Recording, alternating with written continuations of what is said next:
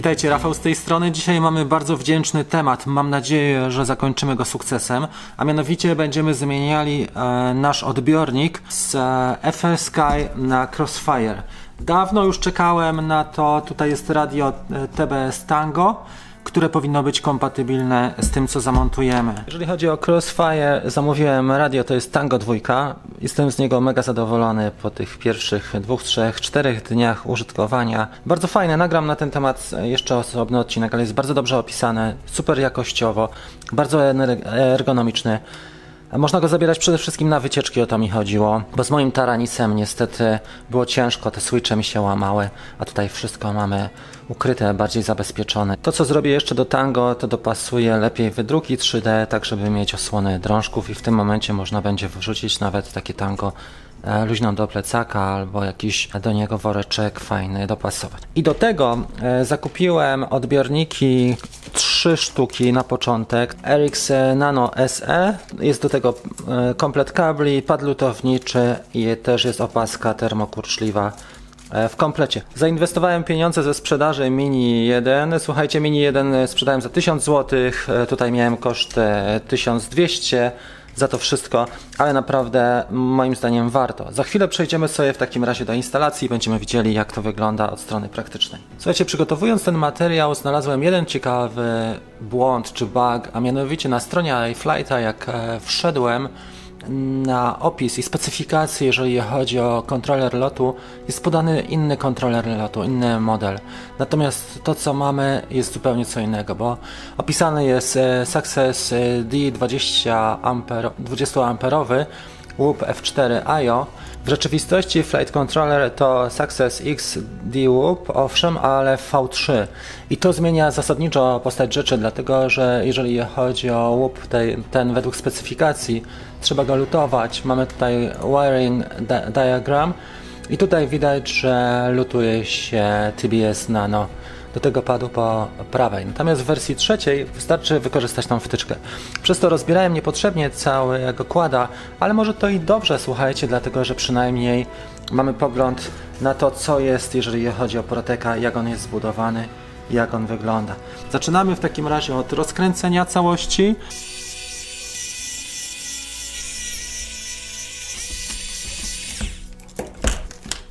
Kable biegnące faktycznie do odbiornika. W pierwszej kolejności zdemontuję to i sprawdzę na schemacie, jak wygląda sprawa. I teraz to, co mamy zrobić, to jest jedna rzecz, a mianowicie konfiguracja. I tu sobie sprawdzimy, jakie są ustawienia samego odbiornika receiver and choose serial receiver provider S-Bus. I to będziemy zmieniali na CRSF. To będzie tutaj zmieniane. To, co nas czeka na tym etapie, to jest rozbiórka całego drona, żeby dostać się do flight controllera, a zarazem, żeby wlutować te kabelki, które przychodzą od e, receivera. To, co możemy sobie zrobić od razu na tym etapie, to zdemontować e, ten stary odbiornik. Uważać oczywiście, żeby e, nie uszkodzić przewodów i anten.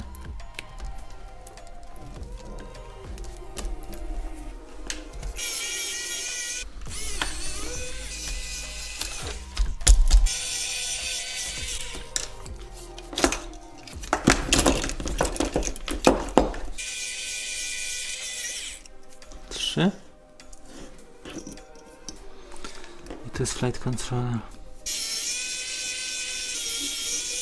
Zdemontuję jeszcze bazer, żeby on tutaj nie przeszkadzał.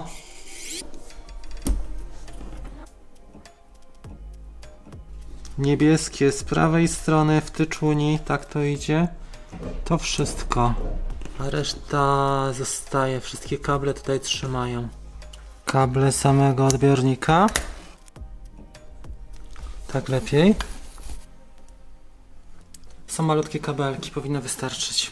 Teraz się zorientuję, jak kabelki przebiegają. E, tutaj jest trochę takiej zabawy, dlatego że trzeba e, sprawdzić jeszcze flight controller. Okazuje się, że jest trochę inaczej niż e, w, na stronie. Jest inny flight controller, a właściwie ten e, połączenie flight controllera i ESC. Ok, powinno być dokładnie tak jak chciałem, czyli będziemy się podłączali e, TBS Nano z tej strony czerwony na samym dole, zasilanie, grunt i następnie mamy receiver transmitter. Tu powinien być niebieski kabelek, ale nie szkodzi. W taki sposób mamy je wlutować, te kable. Wyróżnia się ten pad, gdzie jest e, grunt, nie? Tak.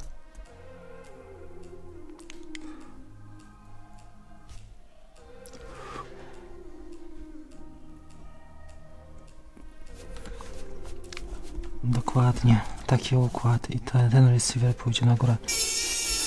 Dobra, poszło lekko, teraz tył. I to co zrobiłem w międzyczasie, to zrobiłem dwie rzeczy. Założyłem dakty, zamontowałem kamerę. Z kamerą jest tak, że łatwo się ją montuje e, z jednym daktem. Jeżeli są dwa założone, jest bardzo ciężko trafić. Ale jak macie e, jeden dakt założony, a drugi nie, jedną stronę tych osłon, wtedy bardzo łatwo tą kamerkę można zamontować. VTX zakręcimy sobie na tych e, nakrętkach. On tu pójdzie z tej strony. Kamera jest zamontowana, dakty są na dwóch śrubach na razie. Jest antena Immortality od odbiornika Nano SE. To wszystko jak, jak na razie i tutaj wygląda na to, że gra. Na tym etapie mam już podpięty receiver, czyli odbiornik, mam połączony anteną, wlutowałem wszystko i wygląda na to, że nie ma zwarcia, czyli jest spektakularny sukces. Pomierzyłem też, nie ma zwarcia pomiędzy ground, czyli uziemieniem, a napięci, podaniem napięcia. Super. I mam wrażenie, że odbiornik by działał. Zastanawiałem się na tym etapie, bo nie byłem pewien, czy powinienem najpierw skonfigurować wszystko w Betaflight, czy powinienem sparować e, z Tango, ale jednak wygląda na to, że weźmiemy się teraz za Tango i to będzie ten kolejny etap i dopiero wszystko skonfigurujemy w Betaflight. To, co mi się bardzo podoba i co już widzę, to fakt, że nie trzeba podłączać zasilania e, pod odbiornik, czyli podkłada, bo wystarczy podpiąć go pod kompa. W tej chwili jest podpięty pod Betaflight, ale widać, że receiver e, świeci na zielono.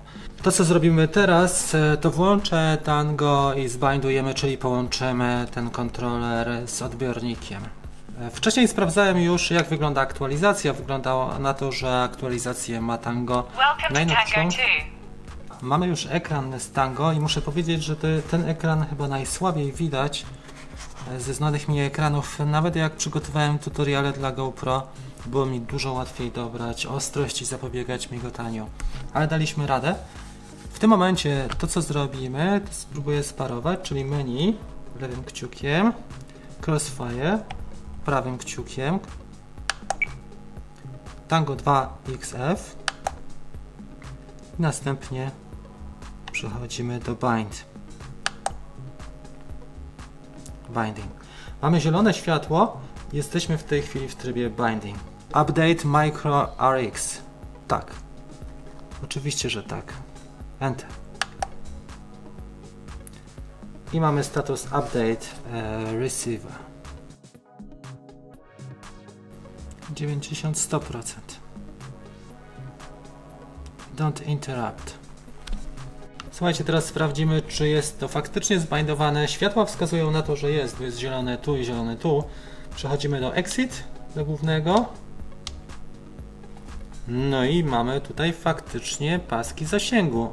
Ok, następna rzecz, jaką zrobimy, to są ustawienia samego receivera, czyli odbiornika. Wejdźmy sobie do menu, Crossfire menu i tutaj mamy XF Nano RX. Ok, to co mamy tutaj, to słabo jest widoczne, ale jest 8 kanałów, telemetry on, dynamic, failsafe jest jako cut, może być, bo to jest multirotor. To co jeszcze widzimy, to jest, są dwa wyjścia, TX i e, RX. Reszta zostaje jak na razie, jeżeli coś będzie nie grało, to wrócimy do tego. Wersja firmware'u, hardware, numer seryjny, wszystko. To, co mamy teraz, jak widać podpięte jest już radio e, do odbiornika, czy odbiornik do radia. Mamy zbindowanie. To, co musimy zrobić, to jest parę zmian, jeżeli chodzi o konfigurator Betaflight. Kład jest podpięty pod laptopa, jak widzicie to powinno działać. Działa wszystko elegancko. Super. Pierwsza rzecz, zobaczmy sobie port. Tutaj ten port obsługiwał nam wcześniej FL Sky, ten odbiornik, który miałem e, firmował, więc to jest dokładnie to samo gniazdo. Natomiast to, co zrobimy sobie, to na pewno e, w konfiguracji. Tu będzie zmiana. W konfiguracji jest zmiana, jak widać przednie idą na zewnątrz, ale to, co potrzebujemy, to jest receiver. I tutaj widzimy. A to, co powinniśmy osiągnąć, jeżeli chodzi o nano, to jest e, Crossfire. To jest to. Save and reboot. Connect. Konfiguracja. Receiver jest jako Crossfire. Przejdźmy w takim razie do faktycznie receivera i zobaczmy jak on się ma. Pitch, roll, throttle, yaw. Wygląda na to, że nam wszystko tutaj gra. Genialnie. Ok, sytuacja jaką mamy jest następująca. Otóż mamy już termokurcz i teraz, żeby nie doprowadzić, tutaj chciałem podziękować chłopakom, których tutorial oglądałem, Wojtkowi i Jackowi z Katowic, że powinniśmy antenę z Crossfire w ten sposób wyprowadzać. Dzięki temu przy szarpnięciach ona nie jest bezpośrednio y, z odbiornika właśnie też wyszarpywana. Termokurcz zastosuję trochę dłuższy, jednak nie ten z kompletu. Znalazłem dużo lepszy, który kupiłem kiedyś na Allegro, chyba metr kupiłem tego, tej opaski termokurczliwej.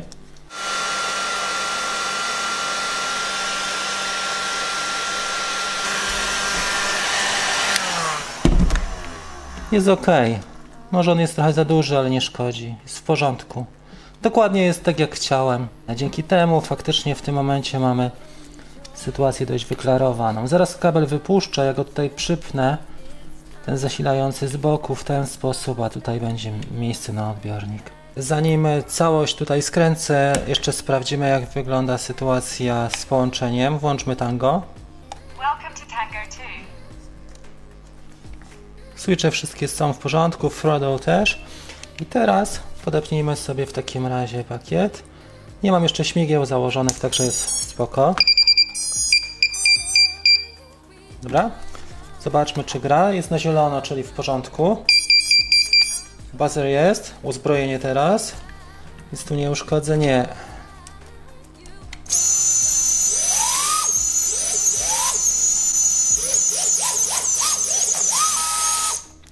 Super. Wygląda na to, że jest w porządku. Można go skręcić. E, Też dokręcę śmigła i spróbujemy tutaj odbyć e, lot testowy. Mniej więcej starałem się przestrzegać te wytyczne, jakie widziałem w tutorialach i w instrukcji, jeżeli chodzi o Crossfire. Ale wygląda na to, że wszystko powinno być ok. Przednie dają na zewnątrz. Tak przynajmniej było oznaczone przez iFlighta. Tango naprawdę bardzo ładnie pokazuje, od razu pokazuje status poszczególnych switchy, a pokazuje czy coś jest uzbrojone, czy nie, czy bazę i tak dalej. Wszystko jest na zero w tej chwili.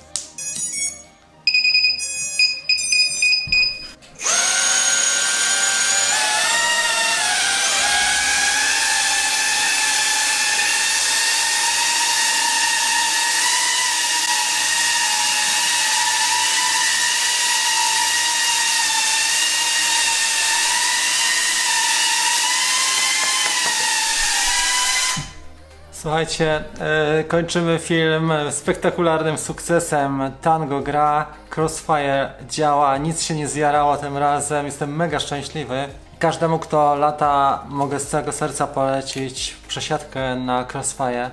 Oczywiście są koszty, to jest normalne, ale wszędzie, gdzie chcemy jakiś poziom konkretny, przyzwoity osiągnąć, będą te koszty. Natomiast muszę Wam powiedzieć, że jakość użytkowania, łatwość instalacji, bindowania to jest po prostu magia miecza. Ja to zrobiłem od strzału wszystko.